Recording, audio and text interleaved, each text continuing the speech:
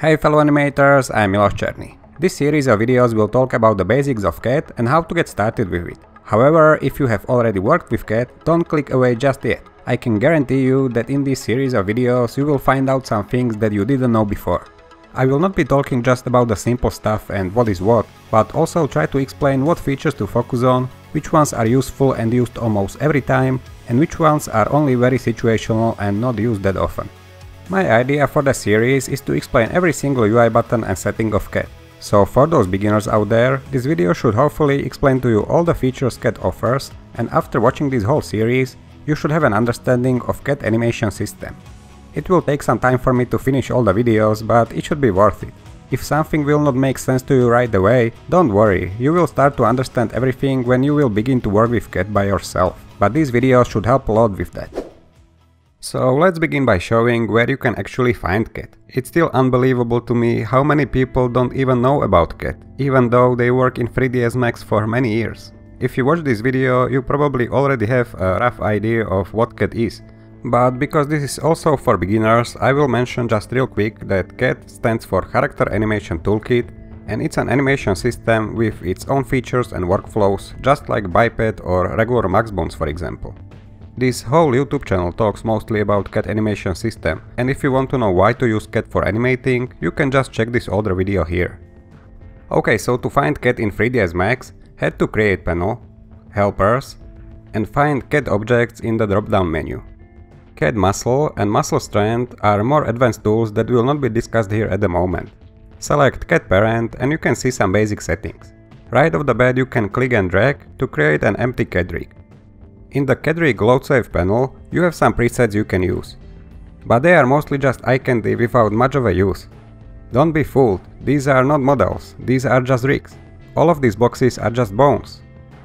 Usually when you work, you also have a modeled mesh that you want to animate. And for that you usually need to do a custom rig, because none of these presets will fit your model. That's why I'm saying that these presets are more for presenting what CAT can do than a practical use. However, if you create a custom rig of any sort which you would like to reuse for different models, you have an option for saving it here. But we will get to that in a second. Let's first create an empty CAT rig and hit create pelvis, which will be almost always your next step when creating a custom rig. Pelvis is what CAT considers a hub, like you can see in its name. But let's now get back to the parent and explain the rest of the parameters. You can see they are not in the create panel anymore, but in the modify panel. It's the same like with all the objects in 3ds Max. Okay, so the name. Keda's naming a bit differently. You can see it says rig, but up here is character 1, which is actually the name of this triangle that 3ds Max sees. If we select the pelvis, it also has the name parameter, which says hub1, and its 3ds Max name is put together by uniting the name from CAT parent and this one, so CAT hub1. If we change the name for the parent to for example custom rig, you can see it changed the prefix for the pelvis as well, and all the other cat bones in this rig. This is very useful and actually the correct way of how you should rename bones with cat, always with this name parameter. Cat units ratio. This number is basically a cat's internal scale value for the whole rig. If you change it, the whole rig changes in size, while still keeping the 3ds Max scale value at 100 which is what you want. Actually, I usually set the z-axis for pelvis by this parameter. If I had a model here and you would want to move pelvis a bit higher, I would do it by changing this number. That way, when I have multiple rigs in one scene, this number correctly represents their sizes. Track display changes displaying of the keys on your timeline. Active layer shows just the keys for the layer you have selected. If you don't know what animation layers are, you can learn more about them in my previous videos. The link is up here. Contributing layers display the keys for the layers that contribute to the one you have selected, so all the adjustment layers for example. And all layers display the keys for all layers. I always keep this at active layer and I have never changed this option. I don't see many reasons why changing this might be useful to you, but now you know that you have that option at least. Bone length axis flips axis for the whole rig, if you change your coordinate system to local, you can see the difference. I also didn't have the need to change this parameter yet, but it might be useful when copying data from different rigs with different axis rotations. Motion extraction node creates a root for the rig, which is important for game engines if you are creating a game character. However, I don't like this way of creating it, because it's not fully customizable and animatable.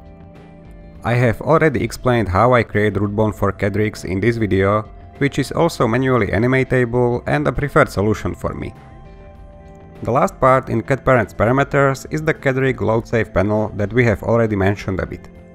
So we have seen the presets already and exactly those you can create by yourself.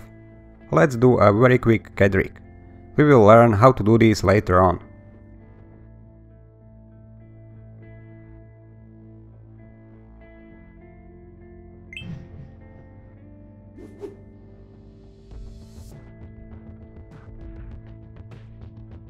When you are done, you can save it with this button here. Let's call it a mutant for example. Now every time when you will create a new CAT rig, you have an option for your preset here as well. If you select it, it will create that rig for you. Also, if you change it somehow, you can just load the rig on top of another and it will transform it to the one saved.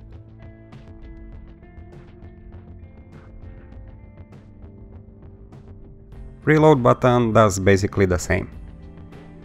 The last thing is the add rigging button, which allows you to add non-CAT objects to your CAT rigs and save them as well. Like controllers or whatever stuff you need. Let's demonstrate it on a simple example. Let's just say that you would want the cylinder to be a part of your rig. You can add it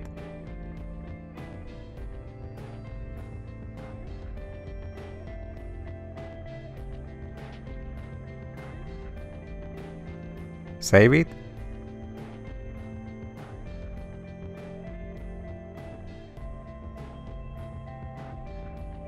And load it. And it's there. Update rig from preset checkbox just reloads the rig automatically for you when you open a 3ds Max file. Okay, so let's stop here for now, and this will be the first part of Introduction to CAT series. In the next part we will continue with creating custom rigs and explaining the different bone chains of cat. If this is helpful to you, you can support me on Patreon to get more videos like this one. Thank you. I am Miloš Černý and thank you for watching.